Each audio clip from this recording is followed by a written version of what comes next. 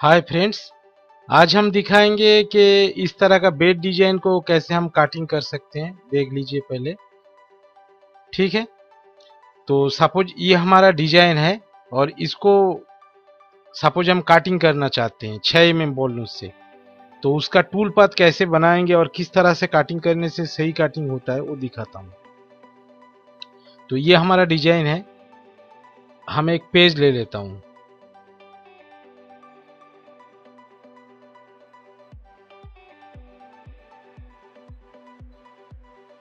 तो art cam का नया एक पेज ले लिया।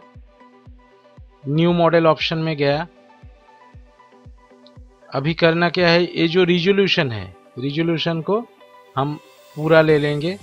फिर इंचिस में जाके सपोज़ विथ हम रखेंगे 22 इंच ठीक है? और हाइट रखेंगे 75 फिर मिलीमीटर ले लेंगे। अलाइनमेंट हम अपना हिसाब से कर सकते हैं। सपोज़ सेंटर से लेना चाहते हैं तो ऑरिजिन सेंटर पे सेट करना होगा। और जेड ज़ीरो बेहतर होगा जो साइड में कटिंग नहीं होगा उधर से करने के लिए, क्योंकि सपोज़ बीट टूट गया तो दोबारा आप ऑरिजिन लेने में दिक्कत हो जाएगा ये जगह पे। तो दोबारा इस जगह से जो जगह कटिंग नहीं हो रहा है बॉर्डर जैसा, उधर से फिर से आप सेट कर सकते हैं, ठीक है? फिर मैं इसको ओके कर रहा हूँ। इसके बाद हम क्या करेंगे? विंडोज़ में जाकर टाइल वर्टिकली कर देंगे। ये टाइल वर्टिकली कर दिया। अभी दूसरा जो आर्ट कैम खोला था, इसको मैं बंद कर रहा हूँ। ठीक है। अभी देख लीजिए। रिलीफ, इधर से हम उस डिज़ाइन को इंपोर्ट कर लेंगे।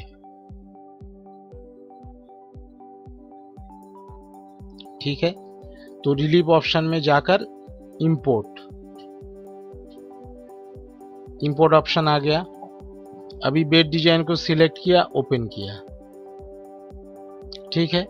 फिर हम क्या करेंगे? रोटेट ऑप्शन में जाएँगे और 90 डिग्री एंगल में इसको घुमा देंगे। ठीक है? फिर अपना पेज के साइज़ के हिसाब के इसको सेट करेंगे। तो ये देखिए हम मॉडल ऑप्शन में जाएँगे, सेट साइज़। अच्छा इसको पहले हम एफ़ नाइन कर लेता हूँ। F nine. एफ़ नाइन करने से क्या होगा? ये पेज का मिडिल में चला जाएगा। चला गया। अभी हमारा जो पेज है पेज इधर से भी देख सकते हैं।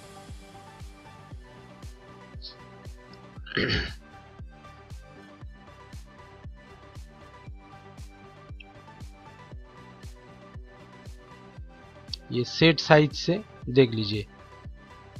190555 एट तो हम इधर साइज़ ऑप्शन में जाकर वन नाइन ज़ीरो फाइव और इधर फाइव फाइव एट कर देता हूँ। अप्लाई ठीक है? ये बढ़ गया। अभी एप इसको पेज के एकदम सेंटर में लेके चले जाएँगे। फिर क्या करना? इसका डेप्थ सपोज़ हम उन्नीस एम देना चाहते हैं तो उन्नीस एम ऐसे सिलेक्ट करके अप्लाई हो गया? फिर हम पे ऑप्शन पर क्लिक कर देंगे। ये बॉक्स ड्रॉ हो गया, फिर क्रिएट अभी क्या करना मॉडल में जाकर अच्छा एक बात, इधर देखिए, खाली बेड डिज़ाइन है। तो ये बॉक्स जो हमने सिलेक्ट किया मॉडल सेप एडिटर इसको सिलेक्ट रख के point one M M merge high कर देंगे।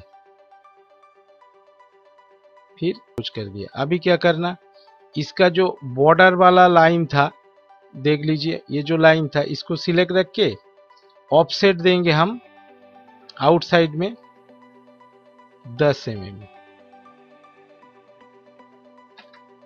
फिर ऑफसेट तो ये आउटसाइड बन इतना सा लिया हूँ, पर आप तो मटेरियल थोड़ा सा ज़्यादा लेंगे, इसलिए प्रॉब्लम नहीं, पर देख लीजिएगा कि बॉर्डर में फिक्स करने के लिए थोड़ा ज़्यादा जगह हो। फिर ये बाहर वाला बॉर्डर को हम सिलेक्ट करेंगे। बा, बाहर वाला ये बॉर्डर सिलेक्शन करने के बाद पहले क्या करना होता है? जेड रफिंग तो जेड रफिंग करने के लिए हम क्या करेंगे? ये जेड लेवल रफिंग वाला ऑप्शन सिलेक्ट करेंगे। तो उन्नीस एम है इधर कैलकुलेटर हमें हिसाब करने के लिए रखना होगा।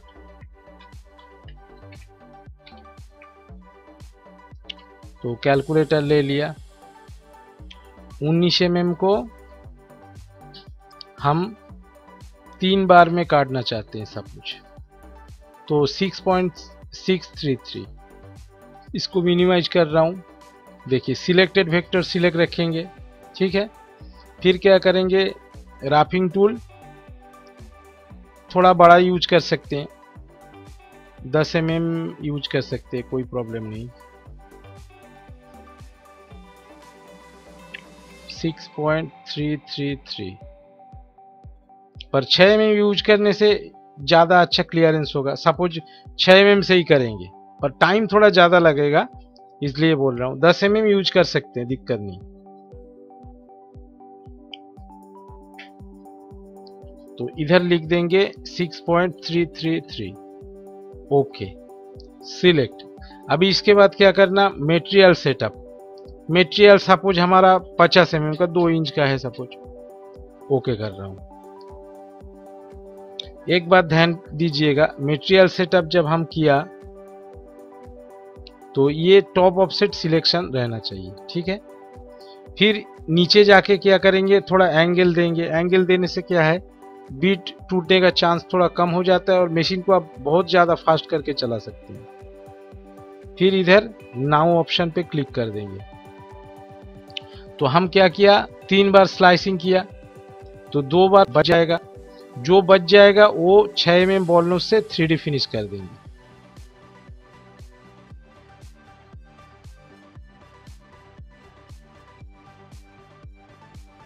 ये हो गया। बचा हुआ जो जगह है, उसको हम 6 एम एम बॉलों से ही फिनिश करेंगे, ठीक है? तो उसके लिए क्या करेंगे? ये मशीन रिलीफ सिलेक्ट करेंगे और सिलेक्टेड वेक्टर रखेंगे रेस्टर एंगल देंगे 45 डिग्री और इधर 6 M M ball nose select करेंगे। करने के बाद स्टेप डाउन देंगे 0.5 फाइव एम फिर ओके सिलेक्ट इसके बाद ये सेम टू सेम सिलेक्ट रहेगा। मटेरियल हम 50 एम लिए थे।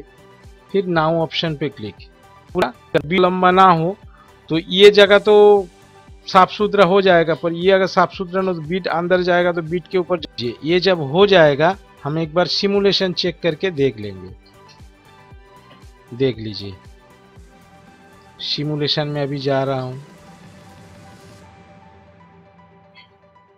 सिमुलेशन देखने से क्या होता है, हमें पता चल जाएगा कि कटिंग सही हो रहा है या नहीं हो रहा है।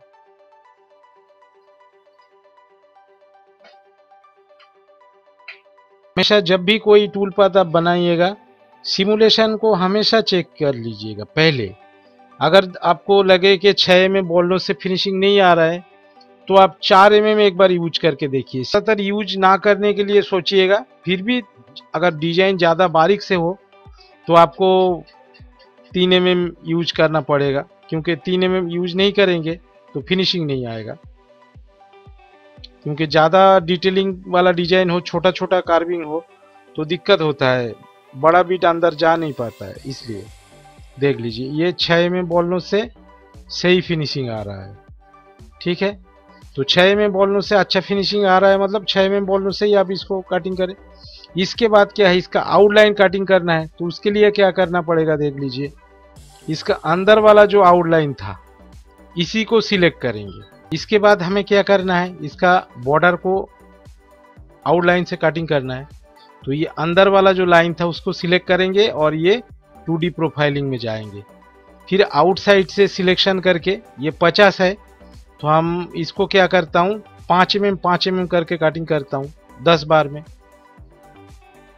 तो इस, इधर 6 एम एम का एन मिल सिलेक्शन करेंगे और अभी हम स्टेप डाउन 5 एम एम देंगे।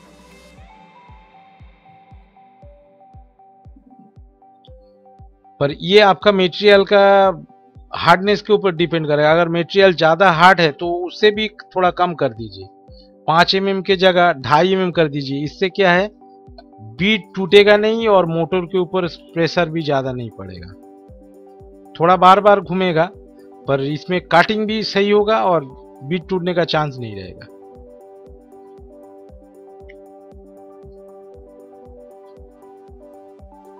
फिर नाउ ऑप्शन पे क्लिक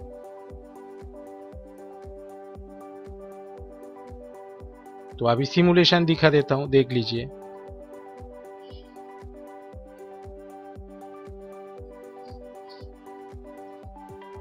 इसका, इस तरह से कटिंग हो जाएगा। ठीक है? Thank you friends best of luck